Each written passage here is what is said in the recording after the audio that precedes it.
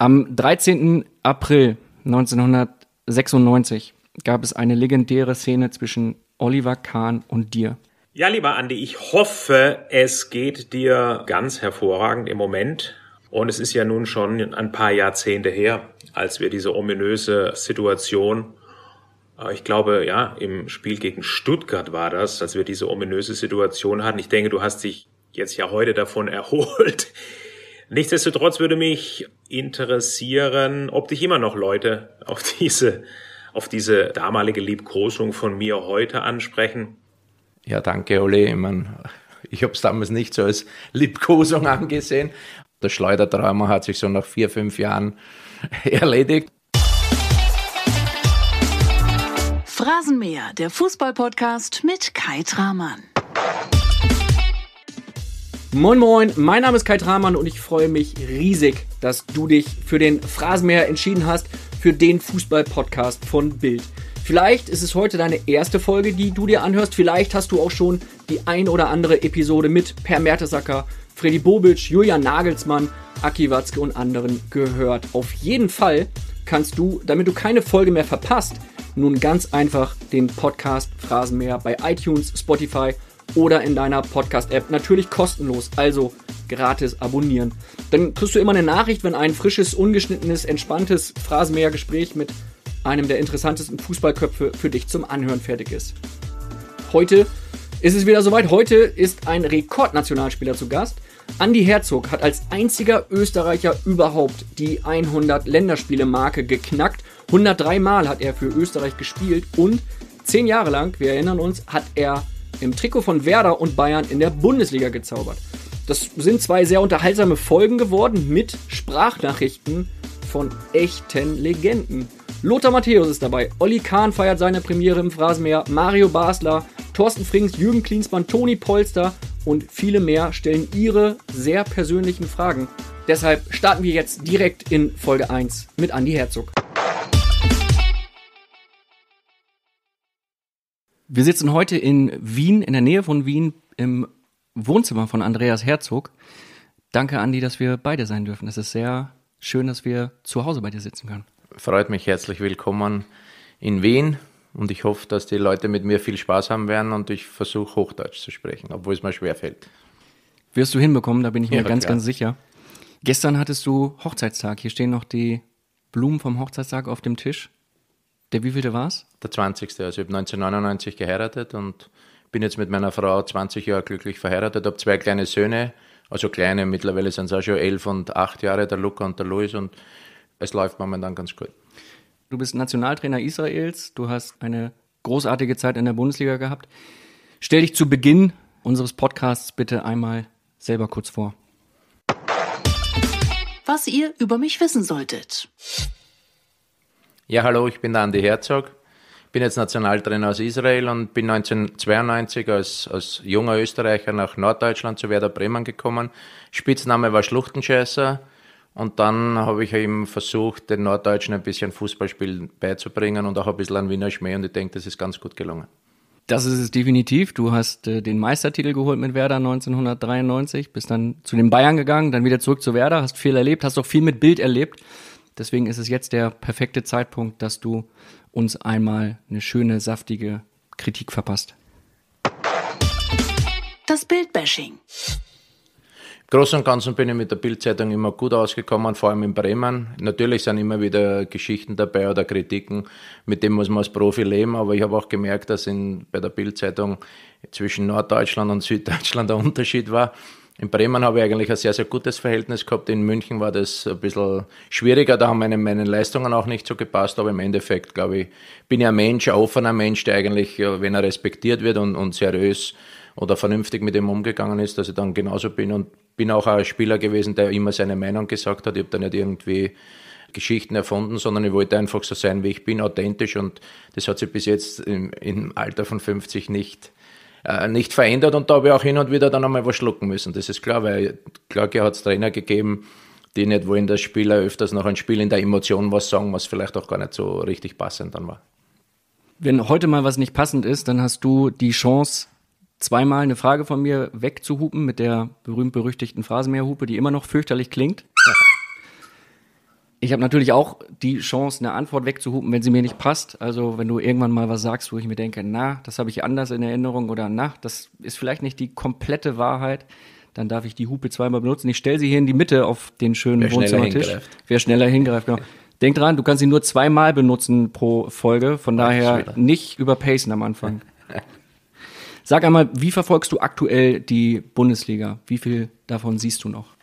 Ja, durch das, dass ich ja seit letzten August äh, Nationaltrainer bin in Israel und äh, ein Spieler war bei Eintracht Frankfurt, Taleb Tawata, hat eigentlich relativ wenig gespielt. Dann war äh, Almo Cohen bei, bei Ingolstadt. Also ich verfolge den deutschen Fußball natürlich noch extrem, weil ich einfach ein Fußballfanatiker bin und habe in Israel sehr, sehr viel Zeit und kann am Wochenende eben auch in der israelischen Liga viel, viel Spiele anschauen. Aber deutsche Bundesliga bin ich halt leider nicht mehr so oft vor Ort im, im Stadion, sondern muss man es dann auch im Fernsehen anschauen. Aber durch das, dass ich fast zehn Jahre in Deutschland gespielt habe, ist es natürlich für mich, abgesehen jetzt von der österreichischen Bundesliga, die, die natürlich am, am genauesten verfolgt. Meine Ex-Vereine Werder Bremen, Bayern München, und jetzt auch, wie gesagt, Eintracht Frankfurt, wo der Adi Hütter, denke ich, einen, einen fantastischen Job gemacht hat. Kannst du als Trainer nachvollziehen, dass die Bayern sich mit Nico Kovac so schwer getan haben in der letzten Saison, also im Umgang mit Nico Kovac? Das weiß ich nicht. Es ist immer schwierig von der Ferne, das, das zu betrachten. Aber bei Bayern ist natürlich schon so, dass er nicht nur erfolgreich sein muss, sondern dass alles rundherum passen muss. Und der Nico war ja auch in, in, in Frankfurt erfolgreich, aber dann der Unterschied zwischen Eintracht Frankfurt und Bayern München ist halt schon noch extrem. Und wenn du dann die, nicht die hundertprozentige Rückendeckung hast von den Vereinsbossen, wie jetzt der Uli Hoeneß oder Rummenigge oder zwischendurch einmal Statements getätigt werden, die jetzt Raum für Spekulationen lassen, dann hast du natürlich eine, eine harte Zeit in München. Aber ich denke, dass das der Nico bis zum Schluss eigentlich sehr, sehr gut äh, gemacht hat und dann eben im, mit dem Double auch die Saison noch fantastisch beendet hat. Du selbst weißt, wie es ist, wenn man nicht die tausendprozentige Rückendeckung der Bayern-Bosse hat, die ja damals, als du 1995 dorthin gewechselt bist, auch schon Uli Hoeneß und Kalle Rummenigge hießen. Beschreib uns mal bitte, was ist anders bei den Bayern? Was macht das so besonders? Naja, allein das, Statement, wir, sind mehr. Also das, das ist schon mal das Zeichen, dass bei Bayern andere Gesetze gibt. Also man erwartet jedes Jahr Titel und das ist auf der einen Seite natürlich ein großer Druck, aber auf der anderen Seite auch die Verpflichtung von jedem einzelnen Spieler, dass die Erwartung so ist, dass jedes Spiel gewonnen wird. Und das gibt der Mannschaft natürlich dann schon auch ein gewisses Selbstvertrauen und auch Uli Hoeneß und, und Karl-Heinz Rummenigge, die sind natürlich schon, auch wenn man manchmal ein bisschen kritisch über sie denkt, aber das sind sicherlich die zwei Personen, die dafür verantwortlich sind, warum Bayern München Bayern München ist in den letzten 30 Jahren, warum sie so erfolgreich sind. Meine persönliche Zeit war bei Bayern natürlich jetzt äh, ein hartes, lehrreiches Jahr für mich, für meine weitere Karriere. Im Großen und Ganzen habe ich da gesehen, dass Bayern einer der Top, was weiß ich, drei oder fünf Vereine ist der Welt. Und für mich ist ein Traum in Erfüllung gegangen, dass ich nach München habe wechseln können. Aber nach den einem Jahr habe ich mir gedacht, okay, spielst jetzt weiter bei Bayern und landest vielleicht in der Nervenheilanstalt oder gehst wieder retour zu Werder Bremen, wo ich mich dann gleich wieder richtig wohlgefühlt habe. Und ich war ein bisschen, als Kreativer ist man schon manchmal ein bisschen sensibler. Und das hat einfach mit, mit Bayern München nicht äh, alles, alles so gepasst, wie man es erhofft hat. Wenn man sich die Fotos anschaut, wie du damals präsentiert wurdest als Neuzugang, da kann man schon so ein bisschen erahnen, dass das irgendwann mal hätte landen können in einer Nervenheilanstalt, weil du wurdest damals präsentiert mit den Neuzugängen Thomas Strunz, Jürgen Klinsmann, Chiriaco Sforza, du und Otto Rehagel als Trainer. Also das war eine Riege von absoluten äh, Topstars. War das einfach zu viel für dich damals? War das einfach eine reine Schlangengrube, die du dort vorgefunden hast? Nein, es war halt so, ich meine, das Jahr war sicherlich extrem. Auf der einen Seite, ich meine, ich liebe den Otto Rehagel, aber vielleicht war das für mich gar nicht förderlich, dass er eben auch mit mir damals von Werder Bremen zu, zu Bayern München gekommen ist. Auf der einen Seite war es natürlich für mich sehr, sehr schön, weil ich genau gewusst habe, dass mich der Trainer schätzt und ich weiß auch, was er von mir erwartet. Auf der anderen Seite war es halt so, nach einer gewissen Zeit, wo halt sehr, sehr viel aus der Kabine immer rausgedrungen ist an die Medien, hat er einfach nicht mehr so das Vertrauen zu den Spielern gehabt, wie, wie es eben bei Werder Bremen jahrelang war, weil da war man wie eine Familie und da ist nie irgendwas, was er in der Kabine ihm erzählt hat oder kritisiert hat oder was auch immer, ist nie nach außen gedrungen. Und dann war ich halt einer der wenigen oder der Einzige, den er halt irgendwie noch vertraut hat und hat halt extrem oft das Gespräch mit mir gesucht und ich denke auch, dass das dann bei den Mitspielern natürlich nicht gut angekommen ist. Dann war ich so wie sein Ziehsohn Und das war trotz des Konkurrenzkampfes in München, der ja normal ist, weil sehr, sehr viele gute Spieler waren, war das für mich so, dass ich dann eigentlich nie zu einer Gruppe dazugehört habe. Da hat es verschiedene Gruppierungen gegeben. Der Lothar Matthäus war der Superstar, Jürgen Klinsmann war Superstar, dann hat es gegeben Thomas Hellmann mit den jüngeren deutschen Nationalspielern. Und ich wollte halt mit niemandem irgendwie anecken oder streiten und wollte mir das alles in Ruhe anschauen, aber das war wahrscheinlich mein Fehler. Ich hätte von Haus aus müssen viel selbstbewusster auftreten, rigoroser auftreten und das ist eigentlich das, was ich mir von Haus aus vorwerfen muss, dass ich viel zu viel Respekt auch gehabt habe. Für mich als Bildreporter ist es jetzt ja völlig absurd, dass etwas aus der Bayern-Kabine zu den Medien dringen kann. Wie, wie passiert sowas? Wie geht sowas das vor? Das kannst du nicht vorstellen. Gell? Ich kann mir es auch nicht vorstellen. Also ich, ich habe das nicht so gemacht, aber, aber im Business ist das heutzutage so. Ich meine, es, ja, es wird ja immer schlimmer. Damals war es halt bei, bei Bayern so, wir haben ja den Spitznamen gehabt, der FC Hollywood, also es ist sehr, sehr viel gestritten worden und wir haben trotzdem eine fantastische Mannschaft gehabt.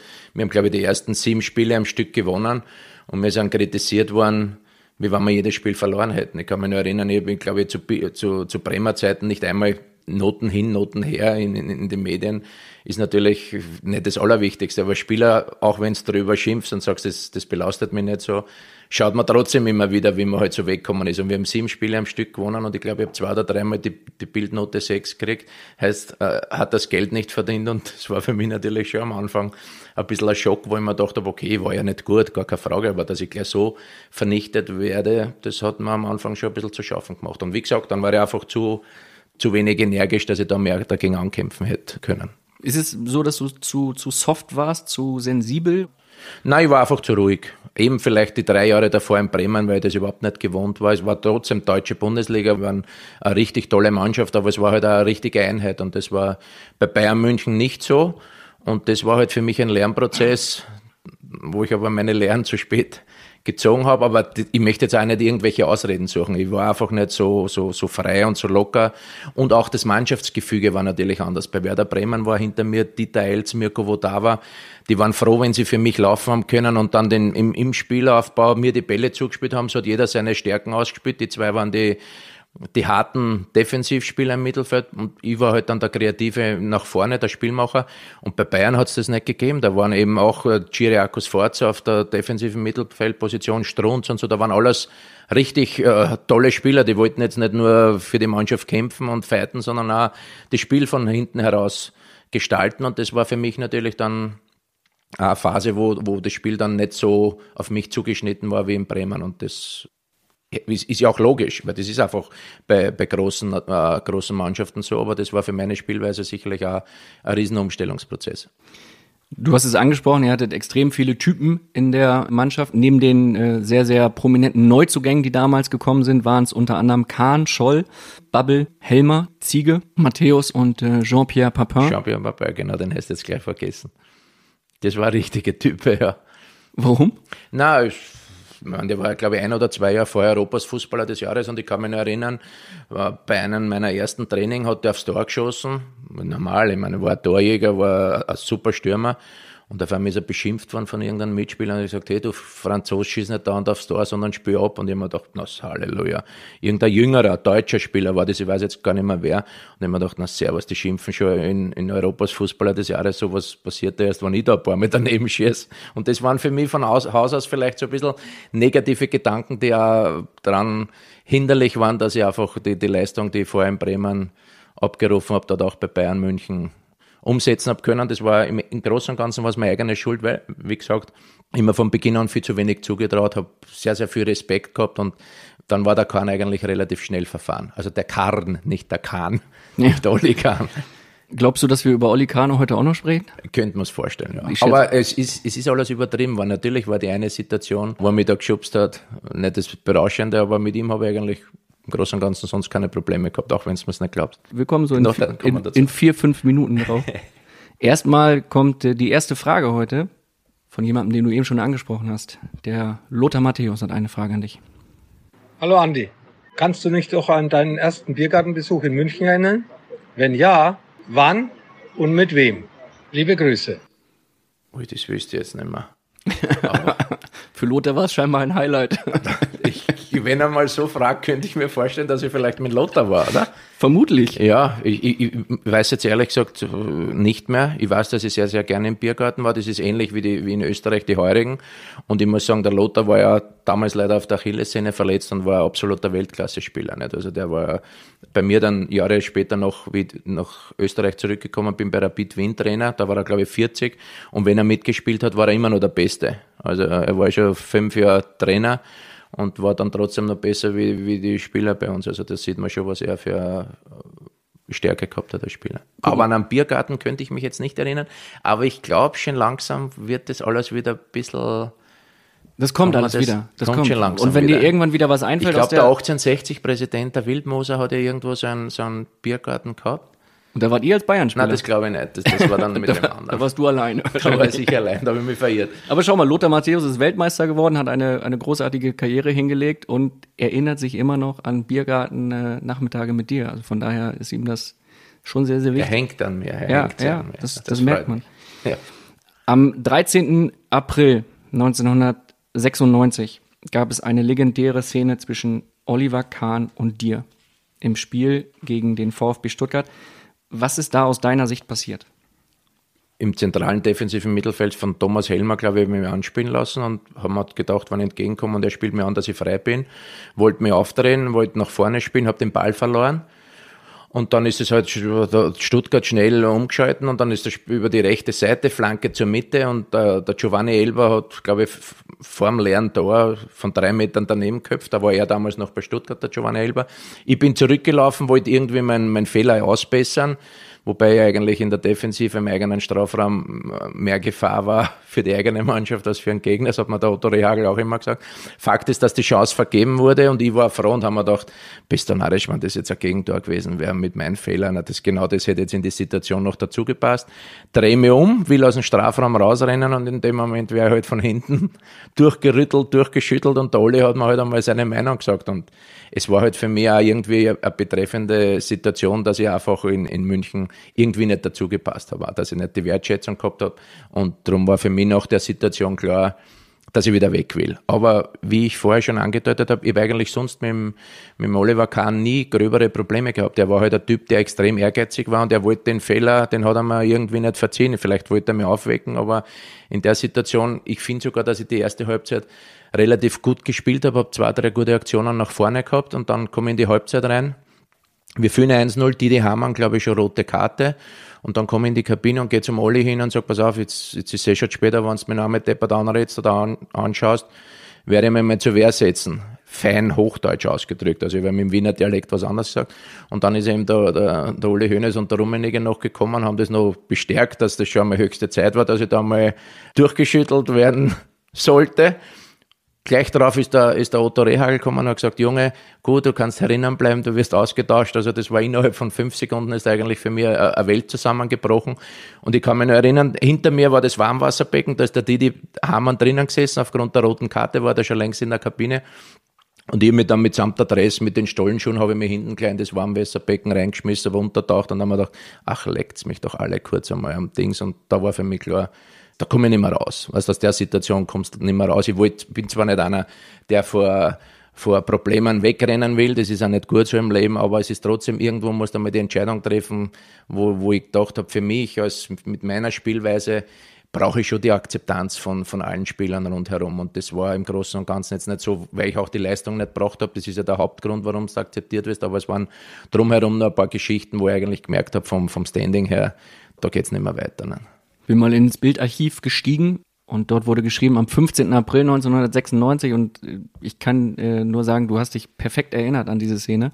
Bild hat damals geschrieben, die 40. Minute, Herzog verliert den Ball an Haber, der passt auf Elber, Kopfball des Brasilianers, Kahn klärt, rennt dann wie ein Wilder auf Herzog zu, schubst den völlig verdatterten Wiener wütend durch den halben Strafraum. Andi zeigt seinem Keeper den Vogel, sagt später, er hatte Glück, dass ich die Nerven behalten habe. Kahn, ich war stinksauer, dass er den Ball vertändelt hat. Naja, verstehe ich auch. was Oliver- aber ich glaube, ich war nicht der Einzige, der die ganze Saison einen Ball vertändelt hat. Ich habe mich aber falsch erinnert, ich hätte geglaubt, dass der Giovanni Elber den Ball verköpft hat. Ich habe mir jetzt ein Unrecht getan in Olli. Anscheinend hat er ja den Ball abgewehrt, also muss er ihm nachträglich dankbar sein. Na sicher nicht. Was Kein der Oliver Problem. heute sagt, hören wir jetzt. Ja, lieber Andi, ich hoffe, es geht dir ganz hervorragend im Moment, auch als Trainer. Und es ist ja nun schon ein paar Jahrzehnte her, als wir diese ominöse Situation, äh, ich glaube, ja, im Spiel gegen Stuttgart war das, als wir diese ominöse Situation hatten. Ich denke, du hast dich jetzt ja heute davon erholt. Nichtsdestotrotz würde mich interessieren, ob dich immer noch Leute auf diese auf diese damalige Liebkosung von mir heute ansprechen und wie es denn allgemein so sich im Moment anfühlt als Trainer. Alles Gute und bis bald. Ciao, ciao. Ja, danke, Olli. Ich, mein, ich habe es damals nicht so als Liebkosung angesehen, aber wie gesagt, habe ich mit ihm eigentlich nie, nie ein Problem gehabt und er war der Einzige, wo ich gesagt habe, ich gehe wieder weg, der dann in der Kabine zu mir herkommen ist und gesagt, Andi, ich sagte was, bleib hier, beiß dich durch. Das erste Jahr ist für die meisten neuen Spieler hier ein Wahnsinn, extrem schwer, weil es einfach ein Riesenunterschied ist. Und ich habe gesagt, Olli, das ist eigentlich sehr nett von dir, dass du mir das sagst, aber ich habe jetzt die Entscheidung schon getroffen und ich bin ja gedanklich nicht mehr so, so 100% dabei. Also ich möchte, dann war eben die Geschichte mit Mario Basler, wo der Mario angekündigt hat, er will unbedingt zu Bayern München und ich soll wieder zurückgehen nach Bremen. Also hat das der Mario eigentlich damals schon als Spielermanager himself eingefädelt. Fakt ist, dass mein jetziges Leben paar Jahre danach oder ein paar Jahrzehnte danach ist, es geht mir schon wieder besser. Also der Schleudertrauma hat sich so nach vier, fünf Jahren erledigt. Angesprochen wäre ich nicht immer auf die Situation, das ist ganz klar. Selbst meine kleinen Kinder machen Späße drüber und hin und her, aber das gehört einfach dazu, da habe ich auch überhaupt kein Problem mehr. Ich bin schon ein Typ, der über sich selber lachen kann. Jetzt als, als, als Nationaltrainer von Israel, weil er mir angesprochen hat über die jetzige Zeit als Trainer, ist eine, eine richtig schöne Challenge für mich. Momentan läuft es auch sehr, sehr gut. Wir sind Zweiter in der Gruppe, haben im März mein Heimatland Österreich besiegt, 4 zu 2 in Israel. Das war für mich natürlich und auch für das ganze israelische Fußballvolk ein, ein Riesenerfolg, aber wir müssen noch weiter hart arbeiten. Also wir sind am Weg nach oben, aber jetzt haben wir das Spiel gegen Polen verloren, leider 4-0 ganz deutlich. Aber in der Qualifikation ist noch alles möglich und da gilt jetzt meine ganze Kraft. Das macht, wie gesagt habe, extrem viel Spaß. Der israelische Fußballer wird meiner Meinung nach ein bisschen unterschätzt, weil in den letzten 10, 15 Jahren das israelische Nationalteam nicht so erfolgreich war. Aber es gibt dort ein paar junge äh, Spieler, die extrem gute Qualität haben und die ich jetzt auch ehrlich gesagt in, in, in bessere Ligen sehen will und, und vielleicht auch irgendwie helfen kann, dass, dass da eben mehr passiert, weil jede Nationalmannschaft wird besser, wenn, wenn man die Spieler in den Top-Ligen spielt. Das ist ganz logisch. Das ist bei Österreich das Gleiche. Über den israelischen Fußball äh, und deine Rolle dort als Nationaltrainer sprechen wir im zweiten Teil des äh, Phrasenmähers ja. dann nochmal. Ausführlich. Du hast es eben angesprochen, du wirst oft angesprochen auf diese Szene. Könntest du dir vorstellen, dass in circa acht Sekunden Toni Polster dich da nochmal drauf anspricht? Ich glaube, der Toni könnte mir viel drauf ansprechen. Ich meine, der Toni ist einer meiner besten Freunde, mit dem habe ich extrem viel Zeit verbracht. Wir haben extrem viel Späße und ich traue Toni jeden Blödsinn zu. Auch so eine Frage. Jetzt kommt einer. Lieber Andi, würdest du heute anders reagieren in der Szene mit Oliver Kahn, als du es getan hast? Oder glaubst du, war das so in Ordnung für dich? Ich habe eine Gegenfrage, Toni, was hättest du gemacht? Weil es haben mir viele Spieler, oder Mario Basler hat auch gesagt, wenn das mir passiert wäre, hätte ich mich umdreht und hätte ich meine aufs Maul gehauen.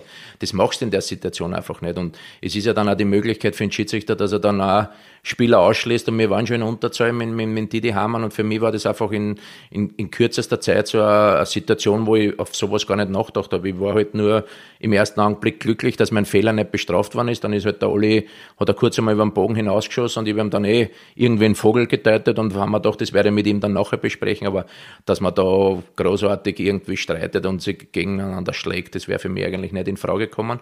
Und denke ich heute noch, dass es sicher nicht die, die richtige Lösung ist, keine Frage. Also sich umzudrehen und, und, und am, eigenen Tor mal hinzuschlagen, das geht, geht meiner Meinung nach gar nicht. Also ich würde wahrscheinlich heutzutage genauso reagieren. Ich würde sagen, was ist, bist du nicht ganz dicht oder was, ich würde umdrehen und würde mir weiterspielen. Ist ja nicht so, dass ich nicht auch Mitspieler in meinem, im Laufe meiner Karriere wahrscheinlich auch das eine oder andere Mal ein bisschen Ärger jetzt nicht attackiert habe mit Schubsen oder so, aber vielleicht verbal ein bisschen angegriffen haben, wo sie die auch nicht so wohl gefühlt haben. Das ist, das ist einfach im Profisport so spricht ja auch für eine gute Einstellung, für eine gute Erziehung, dass du nicht jeden Quatsch mitmachst, wenn dich also jemand schubst, dass du nicht Kahn quasi froh sein, dass mich meine Eltern so brav erzogen haben, weil sonst hätte eine gescheuert gekriegt. Naja, weiß ich nicht. Das Duell Kahn gegen Basler hätte ich dann an gleicher Stelle gerne mal gesehen. Das wäre wahrscheinlich interessanter gewesen für euch Medien. Der erste, da hätte es einen Retourkampf gegeben. Der erste große Boxkampf der Bundesliga live auf dem Platz. An dieser Stelle schon eine kleine Vorwarnung für den äh, zweiten Phrasenmehrteil mit dir. Da kommt dann die Frage von Mario Basler an dich. Du kennst ihn. Sehr direkt, sehr Ja, offen und sehr offensiv. Wie würdest du als Trainer heute reagieren, wenn zwei Spieler deiner Mannschaft so etwas auf dem Platz machen? Du musst als, als Trainer natürlich schauen, dass die Mannschaft eine Einheit ist, dass, da, dass ein guter Teamspirit ist. Und solche Situationen, die helfen da nicht weiter. Auf der einen Seite muss natürlich verstehen, wenn einer einen Fehler macht, dass sich die anderen vielleicht aufregen oder ein Spieler aufregt, aber trotzdem muss man da miteinander um, anders umgehen. Auf der anderen Seite sind auch Emotionen am Spielfeld trotzdem wichtig und das musst du als Trainer auch akzeptieren und, und annehmen, weil du willst ja auch Leidenschaft in deiner Mannschaft haben.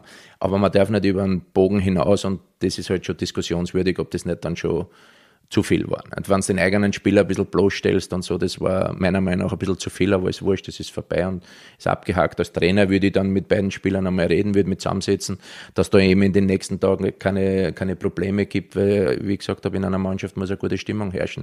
Dass sich nicht jeder mit jedem extrem gut verstehen muss, ist logisch, aber man, der eine muss für den anderen da sein in, in schwierigen Situationen und das war halt bei uns in dem Jahr bei Bayern München sicherlich nicht so der Fall. Sage noch mal eine kurze Nachfrage.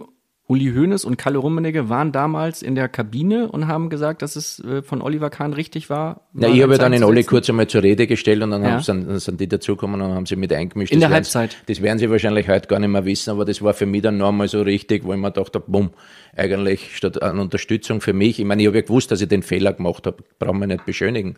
Aber wo ich mir dann dachte, bumm, eigentlich ist der Kahn für mich da schon ziemlich verfahren. Wenn wir alle so attackieren, dann dann kommst du aus der Situation nicht mehr leicht raus. Nicht? Und dann ist eben der Otto gekommen, der hat aber nie was Böses mir gegenüber gemeint, der hat mir halt eingeschätzt, hat gesagt, du hast nicht gut genug gespielt, das Spiel ist vorbei, bist ausgetauscht und dann war halt das Wiedersehen mit Didi Hamann in, im Warmwasserbecken, wo ich aber zuerst, glaube ich, einmal einen neuen Weltrekord im Tauchen aufgestellt habe, zwei, drei Minuten, weil ich wollte niemanden mehr sehen, also ich bin so lang wie möglich untergetaucht und war vielleicht sogar besser, weil sonst hätte ich dann wirklich irgendeinen Blödsinn gemacht.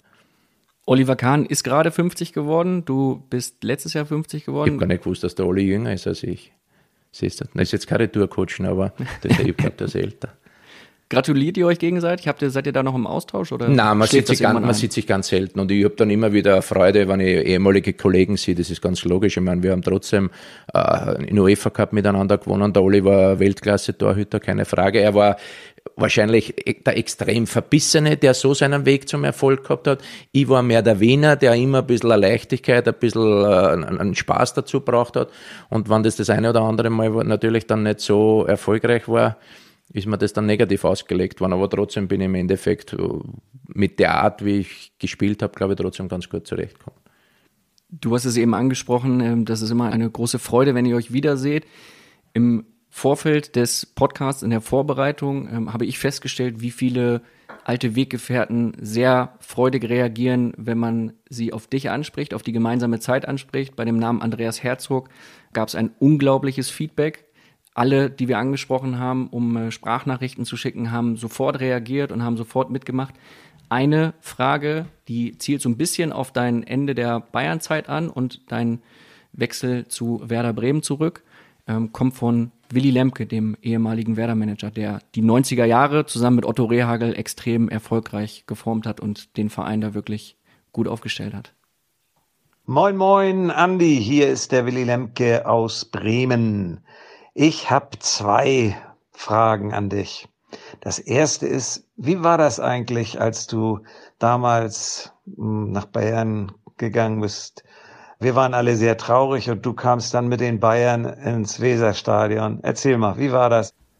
die Tage davor, wo ich schon gewusst habe, okay, ich werde wahrscheinlich äh, Bayern verlassen und werde wieder nach Bremen zurückkehren, war ich im Kopf ein bisschen frei und haben wir dann auch beim Training, auf Deutsch gesagt, weniger gepfiffen und habe wieder mutiger gespielt, haben wir mehr zutraut und dann ist auch der damalige Trainer, der, der Franz Beckenbauer, der nach dem Otto Rehagel übernommen hat, ist zu mir gekommen und gesagt, na Wiener, du schaust wieder besser aus und gut und hin und her und dann haben wir gedacht, ja, ich pfeife mir nichts mehr, ich spiele einfach so wieder, habe nichts mehr zum Verlieren und war eigentlich wieder auf einem guten Weg und weil er das eigentlich sehr, sehr positiv aufgenommen hat, sind wir dann nach Bremen gekommen und dann war Mittagessen und er hat gesagt, er möchte mit mir sprechen, der Beckenbauer. Und man dachte, okay, jetzt geht's bei uns auch noch um einen Meistertitel. Jetzt wird er sagen, pass auf, jetzt die letzten Wochen hast du nicht so viel gespielt, aber jetzt, jetzt kommst du nach Bremen retour. Und bei den letzten Trainingseinheiten hat es ganz gut ausgeschaut. Also heute erwartet er eine spezielle Leistung von mir. Das war meine, meine Vorstellung oder mein Wunsch. Fakt war so, dass er gesagt hat, pass auf, wir sind leider 17 und es können sich nur 16 umziehen. Du bist heute nicht im Kader, habe ich mich nicht einmal umziehen brauchen und das war natürlich dann auch noch ein absoluter Tiefpunkt. Aber es war trotzdem dann, ich bin halt ein Mensch, der aus jeder Situation dann das, das Beste oder auch ein bisschen, nicht jetzt im Spaß, weil das ist ja nicht eine spaßige Situation gewesen, aber haben wir gedacht, okay, jetzt bin ich halt in Bremen. Äh, ich hoffe natürlich, dass wir gewinnen, weil ich wollte ja Meister werden, aber im Endeffekt ist die Situation für mich jetzt ganz klar, ich, ich werde Bayern verlassen, gehe nach Bremen retour. Und dann hat sich die Mannschaft eben aufgewärmt, ist rausgegangen und dann bin ich rausgegangen haben mir gedacht, wie reagieren die Werder-Fans auf mich? Weil das, das, das Jahr in München war jetzt nicht gerade so, dass du sagst, die, die Fans haben mich geliebt, so wie die drei Jahre davor bei, bei Werder. Und ich gehe mir geh raus aus dem Tunnel und auf einmal in ein Pfeifkonzert, ein Wahnsinn. Und ich mir gedacht, na scheiße, jetzt will ich zu Werder zurück. Und die Leute, das geht genauso weiter wie bei Bayern, dass ich gleich gegen, richtig wieder gegen alles ankämpfen muss. Und ich drehe mich um und auf einmal geht hinter mir der Uli Hoeneß und der, der Karl-Heinz Rummenigge. Und haben wir gedacht, na, hat das Pfeifkonzert jetzt mir gehört oder, oder war das für die zwei? Haben wir gedacht, okay, muss in der Halbzeit ausprobieren. War die Halbzeit vorbei alle gehen rein und ich habe extra noch zwei, drei Minuten gewartet, dass ich dann alleine reingehe, wieder in die Kabine, weil ich war eh nicht umgezogen, habe eh Zeit gehabt. Und bin dann so über die Laufbahn, komme zur Werder-Kurve und auf einmal springt die Kurve auf und feiert mich und in dem Moment habe ich einen Grinser gekriegt. Gänsehaut ist mir aufgestiegen und ich habe gewusst, okay, ich bin wieder daheim, in ein paar Wochen spiele ich wieder für Grün-Weiß und das war für mich eigentlich das Wichtigste, dass ich gesehen habe, dass mir die Fans den Wechsel halt zu Bayern München dann doch verziehen haben und das war eigentlich für mich dann auch von Beginn an relativ einfach wieder gute Leistungen zu bringen für Werder Bremen. Daran konnte er sich äh, sehr gut erinnern. Er hatte das Gespräch. Vielleicht hat er die Fans dazu ermutigt, dass kurzen, pushen sollen. Ich glaube fast. Nein, Quatsch. Also. Ähm, Na, aber es freut mich immer wieder vom Willi zu hören. Er war jetzt bei der UNO für den Bum Koncha oder für den, nicht Bum Koncha, für den koreanischen, wie sagt man da, UNO Generalsekretär. Da was nicht, habe ich ihn ein paar Mal getroffen in Willi. Er war ja sehr, sehr viel unterwegs als Sport nicht als Sportminister, aber für die UNO als Sport und er war ein sehr, sehr umtriebiger Mensch, als Manager auch. Also er war sehr, sehr nett, aber man hat natürlich auch bei jeder Verhandlung genau aufpassen müssen, weil er genau gewusst hat, was das Beste für einen Verein ist. Aber wir haben immer eine wunderschöne Zeit gehabt und ein paar tolle, paar tolle Erlebnisse miteinander. Durch, durch das habe ich in Willi alles verziehen. Du bist 92 erstmals zu Werder, dann äh, 96 nochmal wieder dorthin, warst bis dann zur Winterpause 2001, 2002 dort. Was war so großartig an dieser Zeit? Was hat Werder so ausgemacht aus deiner Sicht? Ja, die erste Zeit, die ersten drei Jahre waren wir ja absolute Spitzenmannschaft. Da haben wir jedes Jahr um einen Titel mitgespielt oder Titel geholt, Meister oder Pokalsieger. Davor war Werder, äh, wie ich gekommen bin, regierender Europacup-Sieger, der Pokalsieger, den Wettbewerb, den es ja jetzt nicht mehr gibt. Also eigentlich eine europäische Spitzenmannschaft. Und eins war auch logisch durch den Weggang von Otto Rehagel das war für Werder schwerwiegender wie, wie er Weggang von Herzog oder von Basler oder davor Rudi Völler, sondern mit dem, mit dem Wechsel von Otto Rehagel weg von, von Werder Bremen ist da natürlich in, in der Zukunft um einiges schwerer geworden. Wir haben zwar gute Trainer gehabt, aber bis Thomas Schaaf war ihm keiner mehr, der diese Ära Rehagel annähernd drangekommen ist. Und dann die nächsten fünfeinhalb Jahre, die zweite Phase von mir bei Werder Bremen, haben wir noch gute Mannschaft gehabt, aber sind äh, einmal Pokalsieger geworden, einmal im Pokalfinale verloren, aber wir waren immer so, dass wir sagen, wir können unter die Top 3 in der Meisterschaft. Also da hat die, die Mannschaft an Qualität nicht mehr die gleiche Klasse gehabt wie, wie in den Jahren davor. Und dann war das, das Ende bei mir bei, bei Werder Bremen war so, dass eben die drei, vier älteren Spieler wie Marco Bode, Dieter Eils, Andi Herzog aus der glorreichen Zeit von Otto Rehagel, dass das dann irgendwann einmal vorbei ist. Und das ist dann auch nicht, äh, sagen wir mal, 100% reibungslos und, und ehrlich abgelaufen, aber das ist schon lang vorbei. Das, das, das braucht man auch nicht mehr so aufwärmen jetzt. Du hattest deinen Abschied nach einem Spiel bei Hansa Rostock. Das war ein Auswärtsspiel. Ich war damals als junger Bildreporter vor Ort. Das war 2001. Werder hat gewonnen, 1 zu 0.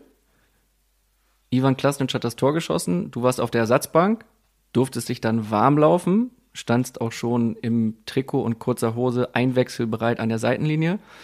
Und Thomas Schaf hat damals so lange gewartet mit deiner Einwechslung, dass der Schiedsrichter abgepfiffen hat. Nein, es war, was mich jetzt so erinnern kann, ich meine, ich war ja sicher auch kein leichter Spieler für Trainer. Ich war schon ein bisschen ein Sturschädel und habe meine eigene Meinung gehabt. Fakt war es dann so, dass ich aufgewärmt habe bei 0-0 ausgezogen. Ich komme rein, in dem Moment schießt ihm, glaube ich, der Ivan Glasnitsch oder ich hätte sogar glaubt, der Claudio Pizarro ist 1 zu 0. In dem Moment sagt der Thomas Schaff, okay, Andi, kannst dich wieder anziehen, wärm dich weiter auf. Und dann habe ich mich wieder aufgewärmt und dann hat er mich wieder hergeholt, habe ich mich wieder ausgezogen und dann war mit der Auswechslung so lang Pause, dass das Spiel vorbei war. Also ich habe mich quasi an, aus, anzogen, an, auszogen, anzogen, auszogen, anzogen und immer da, das dicken die noch ganz richtig. Ich meine, ich bin jetzt nicht da bei Werder Bremen, dass ich mich verarschen lasse. Und da war ich halt dann schon so, dass ich dann auch schnell mal in der Emotion meine Nerven verloren habe. Die Mannschaft ist zu, zu den Fans gelaufen und hat sich verabschiedet.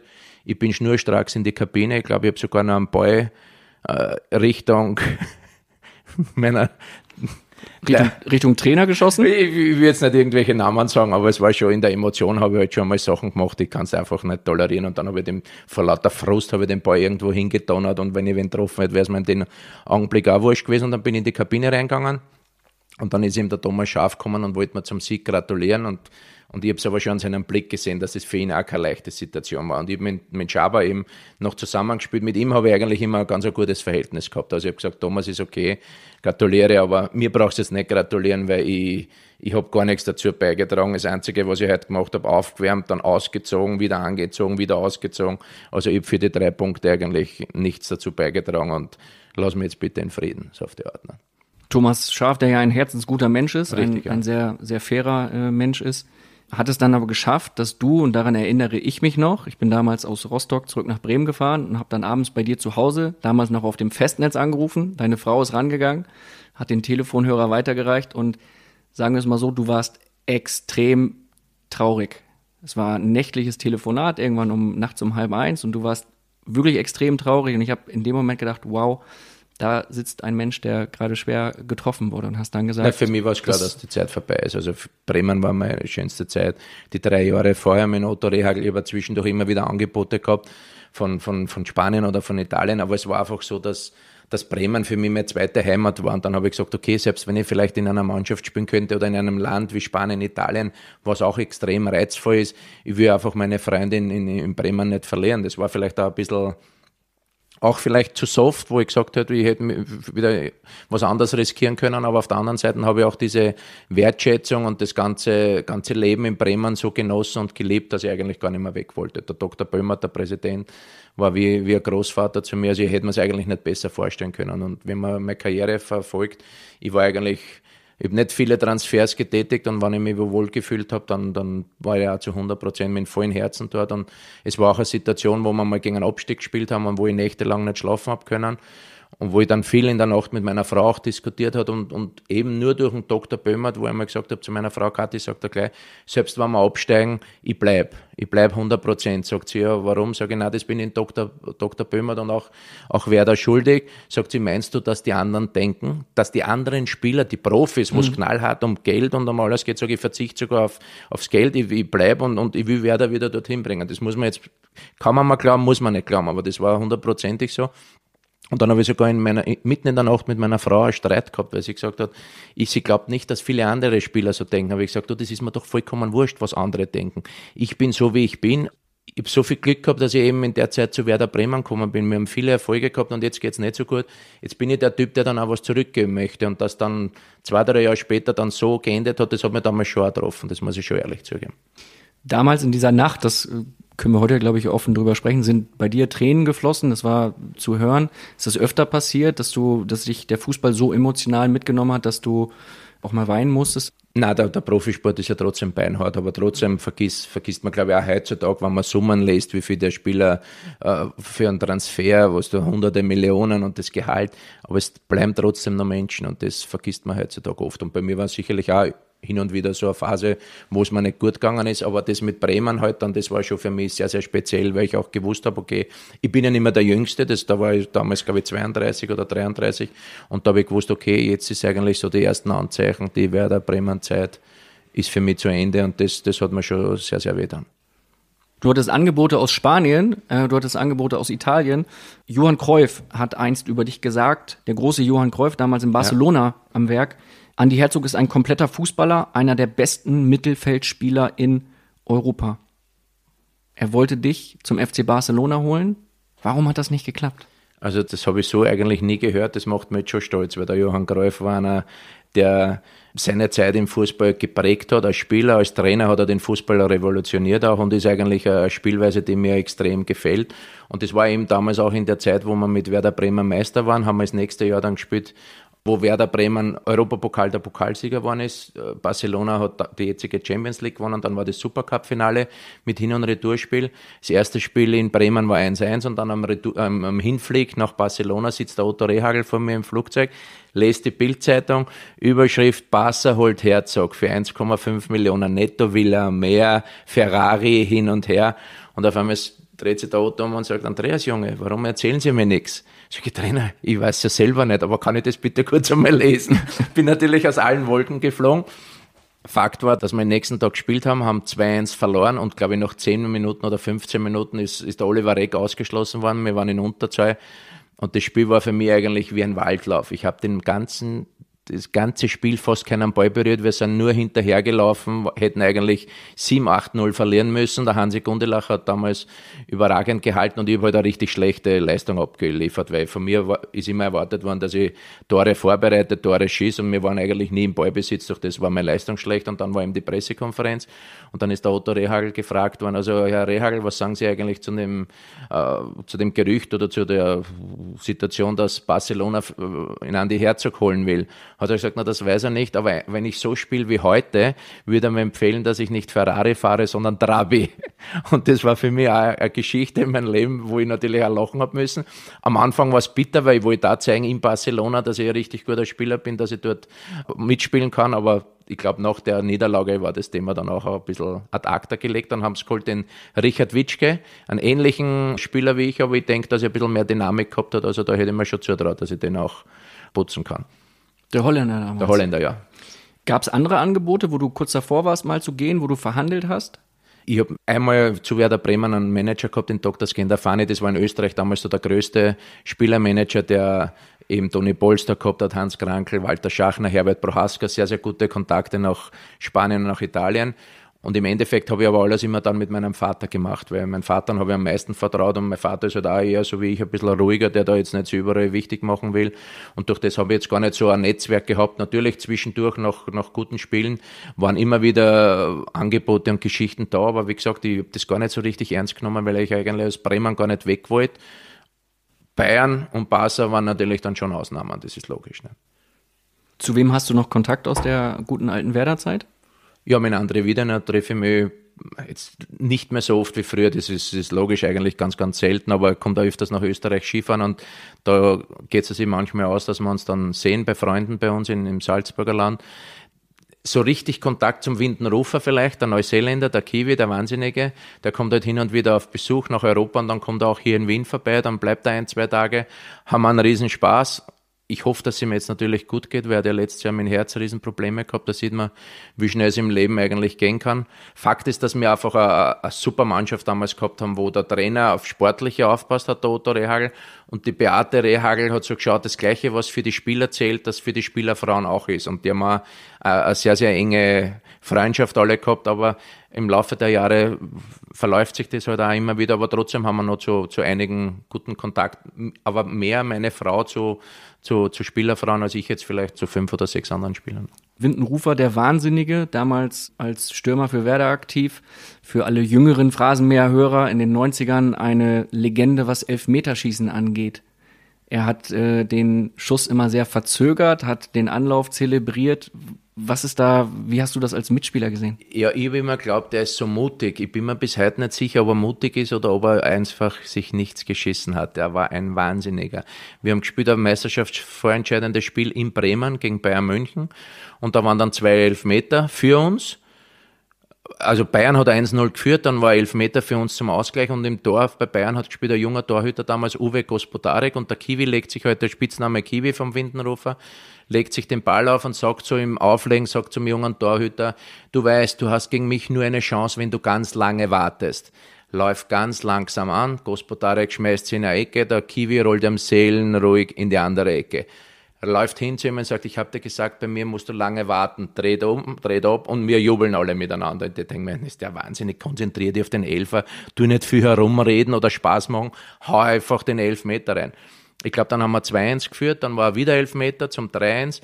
Er legt sich wieder den Ball hin und sagt, Junge, ich habe dir gesagt, du musst lange warten. Bei mir hast du nur eine Chance, wenn du lange wartest. Und immer wieder doch, bitte konzentrier dich, mach nicht dauernd Späßchen, weil du bist der Wahnsinn. Er läuft an, schneller als normal, schießt den Ball schnell rein, ohne zu warten und schreit zum Tormann, oh, schade, jetzt hast du zu lange gewartet. Wieder abgedreht und hat gefeiert. Also ich habe noch nie einen Spieler gesehen, der eigentlich während eines ganz entscheidenden Spiels auf solche Ideen kommt. Darum bin ich mir nicht sicher, ob das Mut war oder ob, der einfach, ob die Neuseeländer da ein bisschen vogelwild sind. Also ich glaube eher das Zweite. Das heißt, Millionen sitzen vorm Fernseher. Schauen zu und derjenige, der eigentlich die Meisterschaft entscheidet, der nimmt alles easy, ganz easy. Ihr Deutschen seid ja alle so verbohrt. Ihr müsst ein bisschen mehr Spaß haben, hat er immer gesagt. Ihr müsst ein bisschen mehr Spaß haben. Für uns Spieler ist es natürlich um Riesenprämien gegangen und ja, Neuseeländer wollte ein bisschen mehr Spaß haben vorne. Ne? Aber meistens ist es sehr gut gegangen, also er war ein toller Spieler. Welches war dein größtes Werder-Spiel? Hast du ein Spiel, was du heraus? Ja, ich glaube, eh, das im ersten Jahr beide Spiele gegen Bayern München. Da haben wir das erste Spiel auswärts 3 zu 1 gewonnen. Da habe ich, glaube ich, ein Tor vorbereitet, eins selber geschossen. Das war für mich so der Durchbruch in Deutschland. Dann das Retourspiel, äh, wo wir 4-1 gewonnen haben, da habe ich einen, ein Tor geschossen und die eben die zwei äh, äh, besprochenen Elfmeter beide rausgeholt. Viele haben gesagt, es waren keine Elfmeter, für mich waren es ganz klare Elfmeter. Man kann sich die Szenen heute noch bei, YouTube, bei YouTube anschauen. Also wer bei YouTube Andreas Herzog, Elfmeter Bayern München eingibt und dann sieht, dass du, ja, sagen wir mal so, sehr bemüht bist, im 16er die Hand von Uwe Gospodarek zu treffen. Zu, zu treffen. Nein, ich glaube, er, war, er war ein bisschen zu spät dran. Ich habe genau gewusst, ich gehe jetzt in den Strafraum rein und er kommt sicher zu spät und ich muss mir den Ball nur ein bisschen zur Seite vorlegen. Und dann habe ich mir den Ball vorgelegt und dann hat er mich erwischt. Und das ist für mich ein ganz klarer Elfmeter. Würde der Videoschiedsrichter heutzutage im Keller in Köln auch Elfmeter geben bei ja, der Szene? Das, ich glaube, 50 Prozent würde sagen ja, 50 Prozent würde sagen nein. Das ist genauso, wie sie es jetzt machen, weil der Videoschiedsrichter sollte eigentlich keine Fehler machen. Und ich denke, in den letzten Jahren oder im letzten Jahr sind auf der ganzen Welt trotz Videobeweises extrem viele Fehler passiert. Nicht? Und das ist das ist eigentlich schon komisch. Das ist immer gut, dass du den Wiener Schmäh mitbringst, weil selbst äh, auf so eine Frage kannst du dann noch sehr charmant antworten und äh, dich da rausschlawinern. Rausschlawinern? Nein, ich sage, für mich waren es ganz klare Elfmeter. Sie waren zwar irgendwie von mir geschickt herausgeholt, aber der Torhüter muss halt in der Situation schon äh, aufpassen, weil wenn ich einen Kontakt suchen will und er gibt mir die Möglichkeit, wäre ich ein Vollidiot, wenn ich ihn damals nicht gesucht hätte. Und wir haben 4-1 gewonnen und das war wahrscheinlich das meisterschaftsentscheidende Spiel. Willi Lemke hat eine zweite Frage, die er eben schon angekündigt hat. Hier kommt sie. Zweite Frage. Da erinnere ich mich ganz besonders gern. Mein letztes Spiel für Werder Bremen im Mai 1999. Wir spielten im DFB-Pokal gegen die Bayern. Da würde ich gerne mal so deine Gefühle nochmal äh, erfahren, wie es dir ging gegen deine alten Mannschaftskameraden von Bayern München im Bremer Team zu stehen und dann so unglaublich sensationell zu gewinnen. Das würde mich freuen, wenn ich was zu, dazu hören würde und ganz, ganz herzliche Grüße zu Hause von Willy Lemke. Ciao. Danke, Willi. Ja, Fakt ist, dass es natürlich immer noch in Erinnerung ist, das ist ganz klar, aber es war für mich was Besonderes. Es war ja für Bremen, obwohl wir, obwohl Werder Bremen relativ oft im Pokal sehr, sehr erfolgreich war, waren wir ganz klare Außenseiter. Wir haben gewusst, wir müssen den, Spiel, den Spielrhythmus der, der Bayern irgendwie knacken. Also wir dürfen nicht uns alles gefallen lassen. Es hat auch viele Diskussionen und Streitereien mit dem Schiedsrichter gegeben und ich war Kapitän bei Werder und wollte halt einmal dazwischen gehen. Na, da war ich glaube ich gar nicht mehr Kapitän, weil da war der Thomas Schaaf, davor war Felix Mager Trainer, da bin ich dann abgesetzt worden als Kapitän. Und ich habe gesagt, wir müssen einfach schauen, dass wir, dass wir uns nichts pfeifen. Wir müssen einfach einen, einen, einen super Tag erwischen. Und ich habe aber nur 30 Minuten einen super Tag erwischt, weil dann bin ich von Thomas Linke gefault worden und bin dann, habe die Nacht im Krankenhaus verbracht. Werder hat in mir Elfmeterschießen den Pokalsieg geholt. Ich habe mich natürlich noch gefreut, aber habe dann eben durch einen riesen, riesen Bluterguss, da muss man irgendein Blutgefäß im Oberschenkel durchtrennt worden sein, weil ich habe dann einen, einen, einen Bluterguss gehabt, der angeblich 15 mal 8 mal 7 Zentimeter, also wie so ein richtiger Leberkäse, wie man in Österreich zum Kaufen kriegt, zum Essen, habe ich im Oberschenkel drinnen gehabt und da war eben die Gefahr, dass dann der, der Bluterguss die Nerven im Oberschenkel abtrennt und dann wollten sie mal in Berlin im Krankenhaus den Oberschenkel aufmachen, damit das Blut rausfließen kann. Und ich meine, ich war zwar schon ein bisschen ein erfahrener Spieler, aber doch, die werden jetzt ein kleines Loch reinmachen und das Blut wird abrennen. Und der hat gesagt, nein, nein, sie müssen da oben von der Popsparke bis runter zum Knie alles auftrennen und dann muss das alles raus. Ich sage, ja, und was passiert dann nachher? Das kannst du nicht leicht zusammennähen. Nein, dann müssen sie vom Rücken hinten irgendwie Haut rausnehmen und das eben transplantieren, weil das kann man sonst nicht mehr zusammennähen. Und ich mir gedacht, na, das kann ja nicht sein. Und da muss ich ehrlich sagen, da war ich überglücklich, dass der Werder-Arzt, der Dr. Kali Mesche, der zu der Zeit noch mit war, und der hat gesagt, nein, nein, es wird hier noch gar nichts aufgeschnitten. Andi, ich bleib bei dir. Der ist fast die ganze Nacht bei mir geblieben und hat immer bei mir an den Fußsohlen gekitzelt. Und solange ich das spüre, ist keine Gefahr, dass eben die Nerven noch äh, quasi durch den Druck des Blutergusses abgetrennt werden. Und haben wir eigentlich die, so die, die Operation erspart. Werder hat natürlich eine Riesenparty gehabt, alles war eitel, Wonne, Sonnenschein, aber ich war in der Nacht im, im, im Krankenhaus und meine Frau ist mich besuchen gekommen, die war natürlich auch fix und fertig und ich habe natürlich schon glaubt da oder gewusst, wegen meine, ich meine, die Schmerzen waren jetzt nicht so groß, aber wegen der ganzen Geschichte. Aber ich glaube, viel wichtiger für sie war, dass eben, dass wir die nächste Woche geheiratet haben.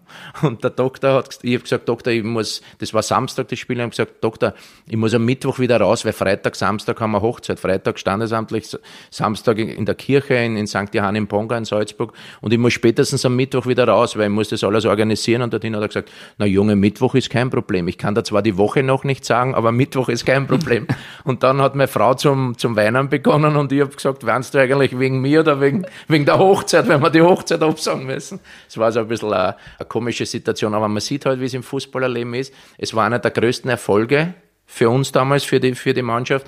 Und als, als, als Spieler selber, da ist das Einzelschicksal dann nicht so wichtig. Also die Mannschaft hat gefeiert, ich war kurz mitfeiern und dann ist mir der Oberschenkel und das Knie so aufgegangen, dass ich sofort ins Krankenhaus eingeliefert haben müssen. Im Jahr drauf war wieder das gleiche Pokalfinale, Werder wieder gegen Werder Bayern. Bayern. Haben wir ganz klar 3-0 verloren, weil wir einfach im Vergleich zum Vorjahr viel zu brav und anständig und nett waren. Und die Bayern waren auch nett und haben uns mit ihrer spielerischen Klasse ganz klar dominiert und wir waren ein braver Verlierer. Und so darf es gegen eine bessere Mannschaft nicht antreten. Damals hast du in einer Mannschaft gespielt mit äh, Thorsten Frings. Ja. Das ist ja ein Freund von dir und ihr hattet damals eine enge Bindung. Du hast ihm auch einen Spitznamen verpasst. Ja, den hat er sich eigentlich selber verpasst, weil er ist gekommen mit 19 Jahren von Alemannia Aachen, war eigentlich rotzfrech, hat sich überhaupt nichts gepfiffen, hat eigentlich null Respekt gehabt und war aber trotzdem irgendwie ein, ein richtig netter Junge. Also es war ihm nie wer böse. Selbst wenn er mal frech war, hat man das immer akzeptiert. Und dann spielen wir den Kreis, das ist so fünf oder sechs gegen zwei. Und er hat bei uns immer mitgespielt, schon bei den älteren Spielern. Und dann spielt er mal einen Ball zum, zum Oli Reck und da ganz einen schlechten Pass und der Oli Reck macht halt einen Fehlpass und sagt, na, na, Thorsten, du musst reingehen, das war dein Fehler. Und er hat zu jedem dann gesagt, du Lutscher, du, was willst denn du Lutscher eigentlich? Du musst reingehen, du Lutscher, du. Und dann habe ich gesagt, pass auf jetzt einmal, Junge, der einzige Lutscher bist du, du hältst jetzt einmal den Maul, du gehst in die Mitte rein und ab dem Zeitpunkt hat er dann den Spitznamen Lutscher verpasst gehabt. Den hat er auch seine ganze Karriere durchgetragen? Anscheinend, ja. Glaubst du, dass er heute noch so frech ist? Ja, ich kann mir schon vorstellen. Ich meine, er ist sicherlich erfahrener und, und, und ruhiger geworden, aber trotzdem, das Spitzbübische hat er sicher noch nicht verlernt. Ich, ich wünsche es ihm auch, weil ich glaube, jeder soll so sein, wie er ist und das hat er mir auch irgendwie stark gemacht im Fußball. Im Phrasenmäher können wir sehr froh sein, dass er immer noch so äh, spitzbübisch ist, immer noch so frech ist, denn wir hören jetzt eine Frage von ihm, die es wirklich in sich hat und dich auch ein bisschen in Erklärungsnot bringen wird. Okay. Hallo Andi, eine Frage habe ich, die mich schon immer brennend interessiert hatte. Hast du eigentlich jemals diesem alten Pärchen in Herzlake morgens um 7.15 Uhr beim Waldlauf mit Felix Magath, als du verschollen warst, äh, jemals einen Strauß Blumen geschickt? Als Dankeschön, dass sie dich zurück ins Hotel gebracht haben? Lieben Gruß. ja, danke, Thorsten. Liebe Grüße zurück. Ja, es war ja in, in Bremen, ja, gibt es ja den Bürgerpark und der war auch schon zu Rehagels Zeiten immer so für Ausdauerläufe, aber Felix Magath hat das halt neu erfunden, weil das waren keine Ausdauerläufe, das waren Gewaltläufe, selbst am, am Tag nach dem Spiel. Und ich war halt dann manchmal so, dass ich, dass ich am Vortag haben wir 90, 95 Minuten ein hartes Spiel gehabt und am nächsten Tag habe ich mir gedacht, muss ich mal ein bisschen lockerer machen. Und das war in Bremen. In Herzlake waren wir auf Trainingslager und da haben wir beinhart trainiert. Und ich habe nach dem Trainingslager kurz ein, zwei Tage nach Wien müssen und wollte eigentlich im Trainingslager zeigen, den Trainer, dass ich voll trainiere, damit er eben keinen Grund hat, dass er sagt, okay, du kannst schnell mal ein, zwei Tage nach Wien heimfliegen. Und dann habe ich am Vortag mit ihm gesprochen, vor dem letzten Tag habe ich gesagt, Trainer, ich müsste dringend ein, zwei Tage nach Wien, ist das möglich? Sagt er, ja, ich bin mit dir sehr zufrieden, was eigentlich selten war beim Felix Magath und, und, und mach so weiter und, und, und hin und her und ich gebe dir die Tage frei. Und dann war in, in letzten Tag, wieder so ein Gewaltlauf. Und da sind wir, normalerweise war es glaube ich eine Stunde oder eineinhalb Stunden. Und normalerweise war ich immer der Letzte oder in der letzten Gruppe hinten, weil das hat mich nicht so interessiert. Und da habe ich mir gedacht, okay Felix, jetzt zeige dir mal, weil Sie haben mir alle immer beschimpft, dass ich keine Ausdauer gehabt habe, weil ich angeblich nicht so viel gelaufen bin und gekämpft habe. Aber dann, wie leider diese Laktatmessungen gekommen sind, bin ich leider überführt worden, dass ich doch immer einer, einer der, der, Besten war. Also ich hätte eigentlich bei den Waldläufen immer vorne dabei sein sollen. Wurscht, Felix Magath neben mir, ich laufe eine Stunde, eine Stunde zwanzig wie eine Maschine neben ihm und denke mir so, jetzt ist das fertig und dann war so ein kleiner Anstieg und da ich, habe ich, hab ich noch im Spaß gesagt, na Trainer, komm, bumm, und bin da raufgesprintet, weil ich glaubt habe, es ist fertig und bleib oben stehen, war so 10, 20 Meter vorne und bleib stehen und wollte halt dem Felix Magath einmal davonrennen, weil er war ja damals noch extrem fit.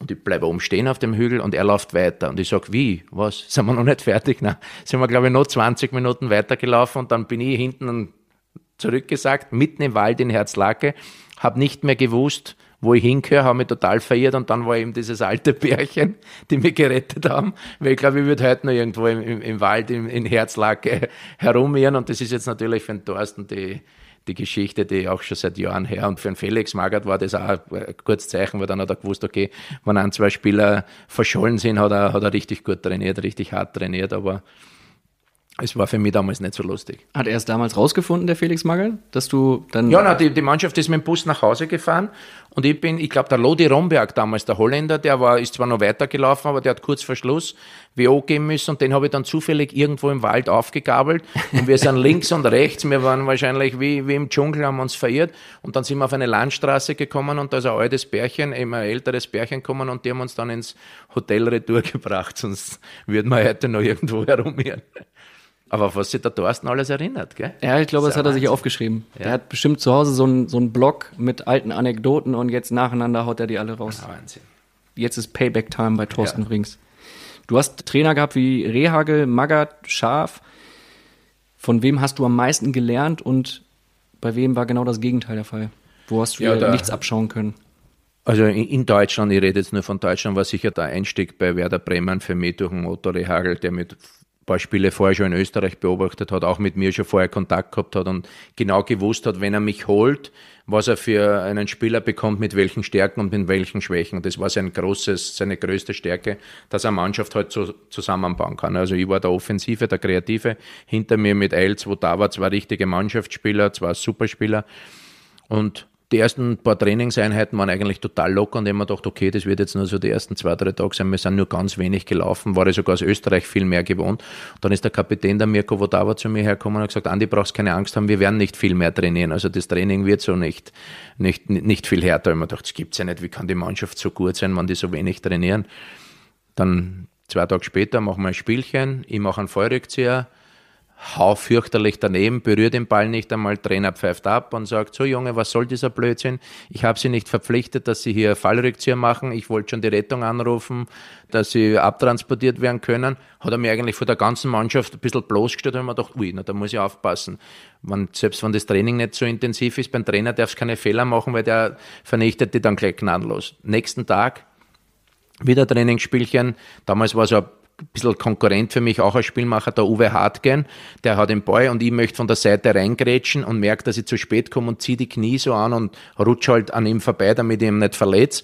Und anscheinend dürfte es auch richtig dämlich ausgeschaut haben. Jedenfalls hat der Otto Rehagel wieder unterbrochen und gesagt, so Jungs, jetzt habt ihr das auch gesehen. Andreas, äh, was sie nicht können, ist reinrutschen. Das will ich von Ihnen auch nicht sehen. Schaut mal, Jungs, das kann er nicht. Der kann Defensive gar nicht. Für das seid ihr zuständig. Mirko, Dieter, Didi und alle und der Junge macht uns das Spiel nach vorne. Und für mich war der erste Augenblick äh, was peinlich, weil man dachte, der steht mir jetzt vor der Mannschaft bloß. Aber im anderen Augenblick war es für mich natürlich ein extremes Zeichen, dass der Trainer genau weiß, was ich kann und was nicht und was ich in die Mannschaft einzubringen habe. Und durch das ist von Beginn eigentlich in Bremen sehr, sehr gut für mich gelaufen.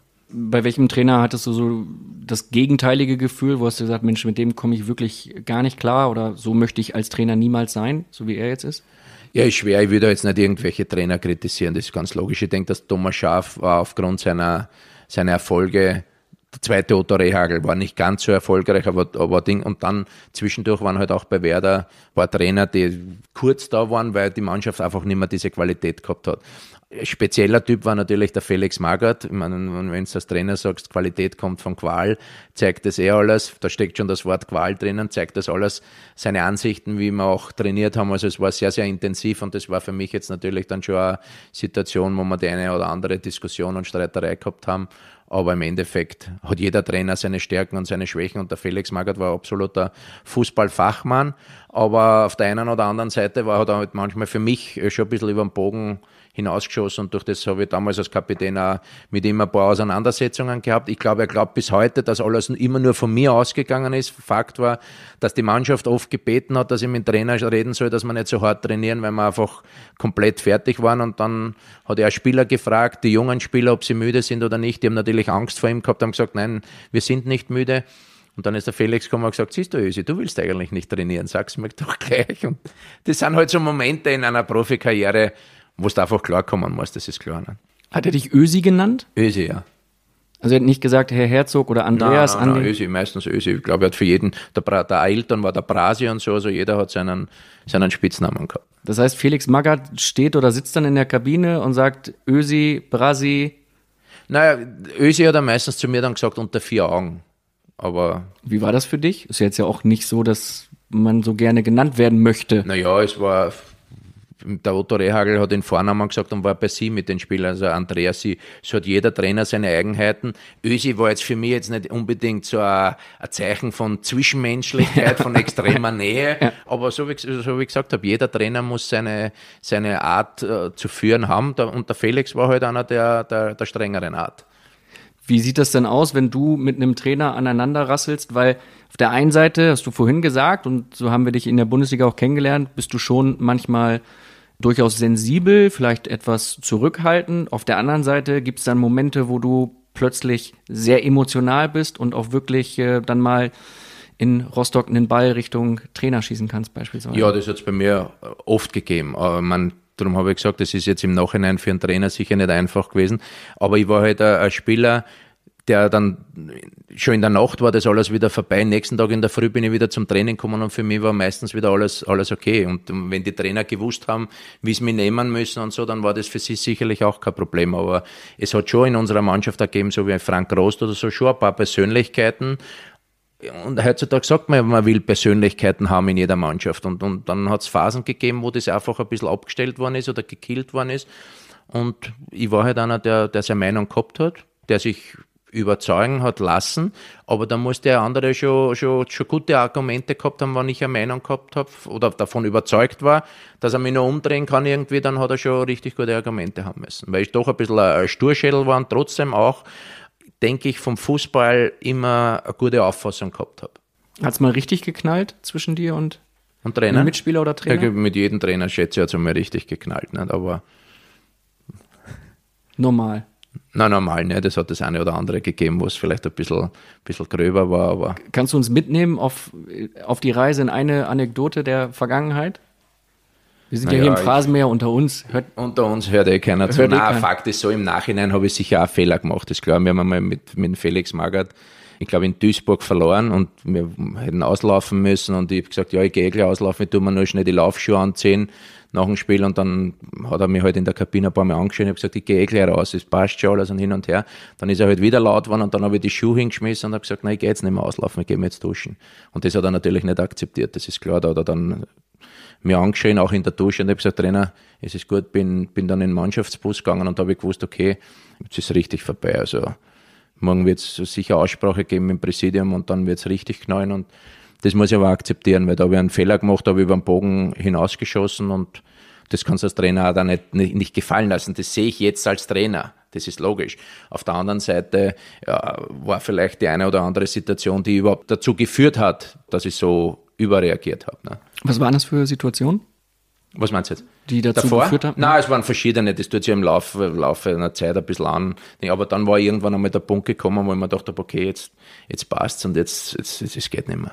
Und dann hast du ihn in der Kabine äh, gesagt, dass du nicht mehr auslaufen wirst, nachdem Nein, ich habe mich ausgezogen, ich habe mich statt umgezogen, habe ich mich ausgezogen und bin duschen gegangen. und die Mannschaft war noch draußen Und dann- im Stadion und hat Die waren auslaufen, ja. Und du warst im Bus und alle waren noch. Na und der Thorsten Frings und der Juri Maximov und der Willi Lemke waren in der Kabine und die waren natürlich alle perplex, aber ich habe gewusst, okay, bei mir geht's manchmal oben so im Gehirn kurz einmal Knicks und dann ist der brave Andi ist auf einmal irgendeiner, der sich gar nichts mehr gefallen lässt und dann schieße ich über den Bogen hinaus und das war's ja und da habe ich mich den nächsten Tag dafür entschuldigt, aber trotzdem war es natürlich dann für Werder eine ganz eine schwierige Situation.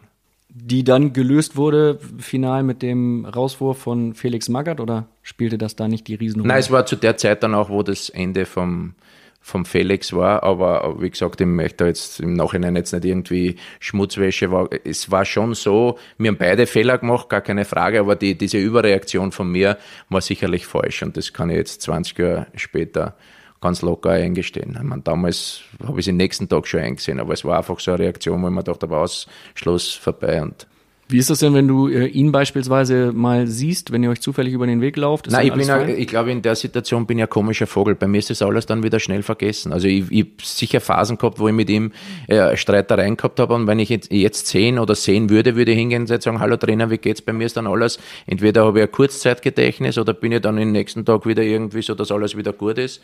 Ich weiß nicht, ich habe mit mehreren Trainern oder mit mehreren Menschen in meinem Leben ein bisschen Probleme gehabt, aber irgendwann ist es dann wieder, wieder verjährt und dann ist das für mich wieder, wieder okay.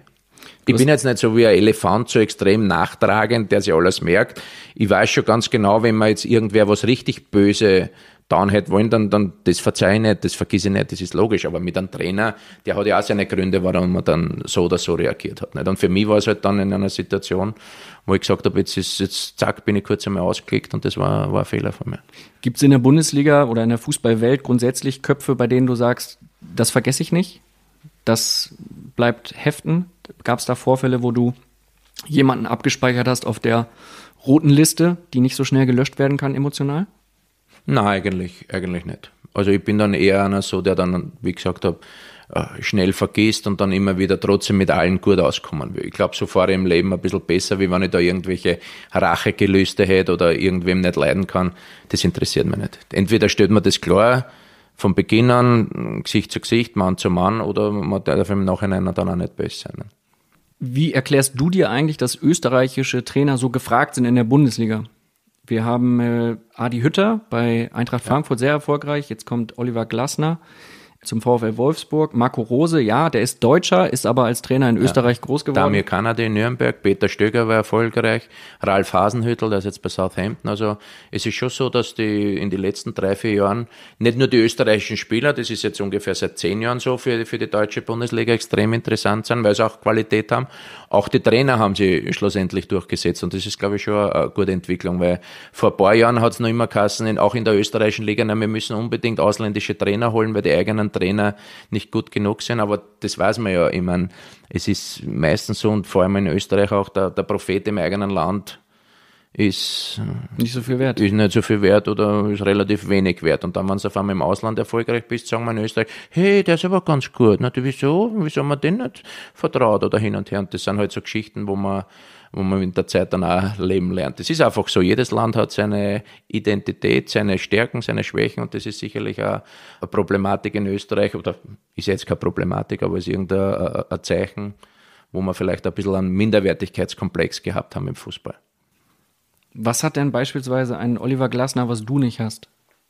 Ja, er war bei Lask jetzt extrem erfolgreich. Also er war bei, beim Roger Schmidt Co-Trainer, bei, bei Red Bull Salzburg hat natürlich dieses Angriffspressing verinnerlicht, hat er aber jetzt auch bei Lask. Linzer ASK für Linzer alle. ASK, ja, ja, ist ein extrem erfolgreich gewesen, hat einen wunder, wunderschönen Fußball gespielt, einen, einen Bauerfußball, wo die Mannschaft extrem viel sprintet. Hat aber jetzt auch im Vergleich zu seiner ersten Trainerstation das ein bisschen angepasst, nicht nur extrem Angriffspressing, sondern schon ein bisschen ein bisschen mehr auf, auf, auf Sicherheit defensiv auch. Aber er ist ein sehr, sehr engagierter, intelligenter Trainer, der eigentlich auch in Deutschland richtig eine gute Karriere zutrauen wird.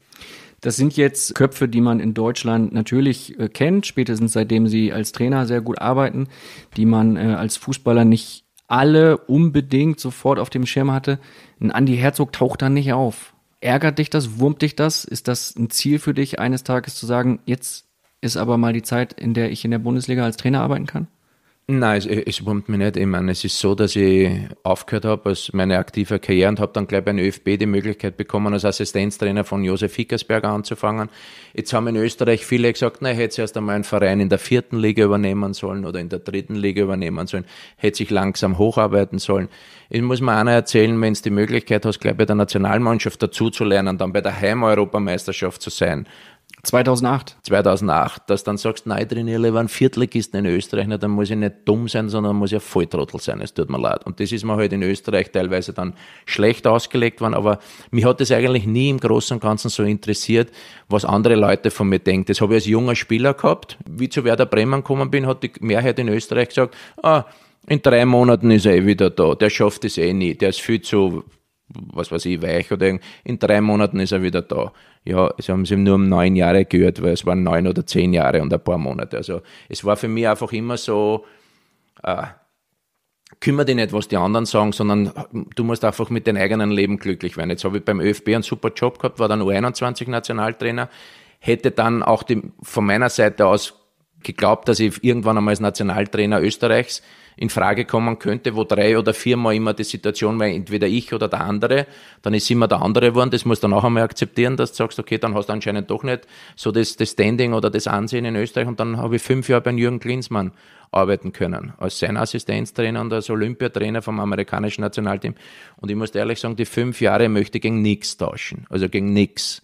Also das waren einmal in Amerika zu, zu leben, dort zu arbeiten, den Fußball weiter voranzubringen, in der Zusammenarbeit mit, mit Jürgen, das war für mich eine fantastische Zeit. Und wenn dann die Trainer, wenn dann viele sagen, na, aber jetzt, der hat noch nie einen Verein trainiert und noch nie, den, ja, das, da haben sie dann auch recht. Ich habe noch nie eine Clubmannschaft trainiert, jetzt bin ich Nationaltrainer in Israel.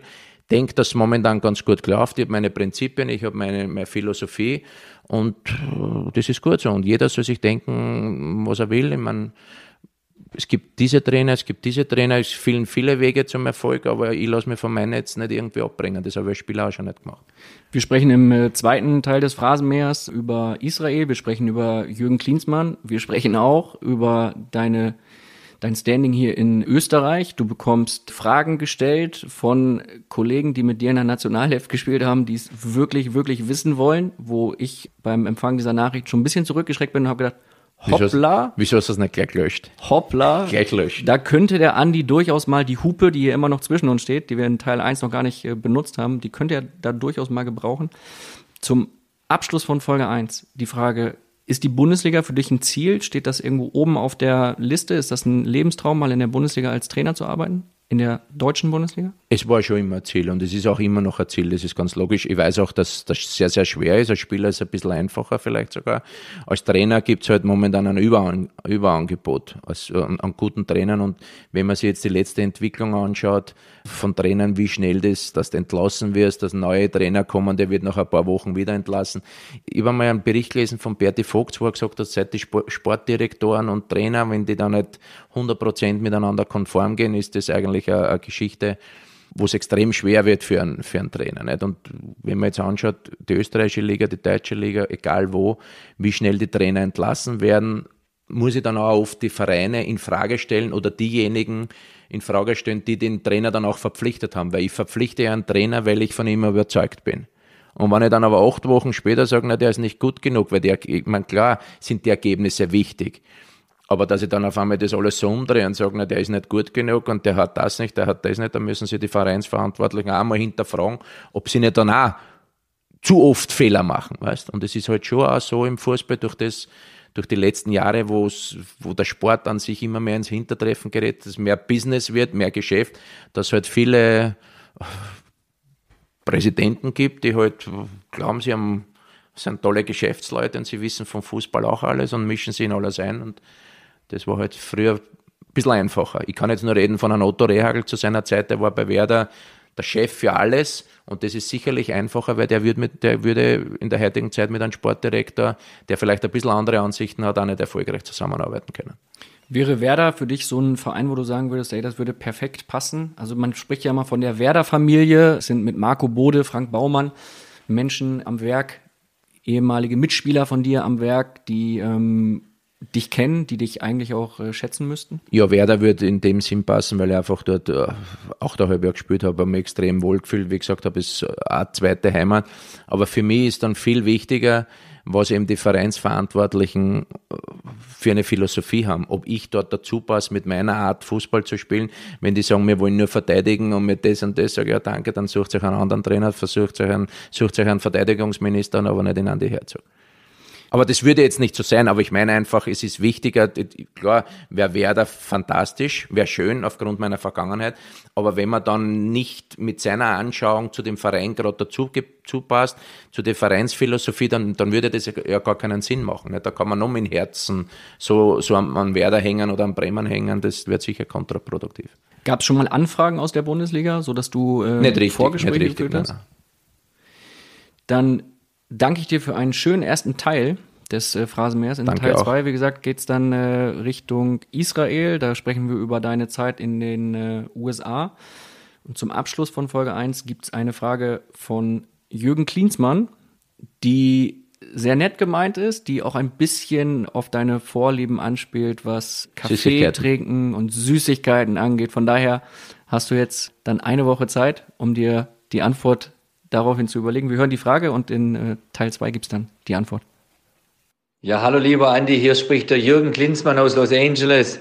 Und ich hätte, ich hätte die dringende Frage. Hast du mittlerweile in Tel Aviv ein ähnliches Kaffeehaus gefunden, wie du sie in, in Wien immer hast, damit du dein äh, Cappuccino und deine Sachertorte oder deine Schokoladenkuchen äh, antriffst? Das würde mich brennend interessieren. Ja. Alles Liebe aus Kalifornien. Nächste Woche folgt dann die zweite Episode mit Andy Herzog. Und bis dahin kannst du jetzt, wenn du Bock hast, mal was Schönes bei Instagram ausprobieren. Denn in den Instagram Stories gibt es jetzt ein Phrasenmäher-GIF. Falls du mal was posten willst, also zum Beispiel wie oder wo du den Phrasenmäher so hörst, dann kannst du diese Story jetzt mit einem Phrasenmäher-GIF verschönern und du kannst ein von Andy Herzog unterschriebenes Phrasenmäher-Shirt gewinnen. Denn unter allen geposteten Stories verschenke ich ein von Andy Herzog unterschriebenes Phrasenmäher-Shirt. Viel Spaß beim Mitmachen und bis nächste Woche.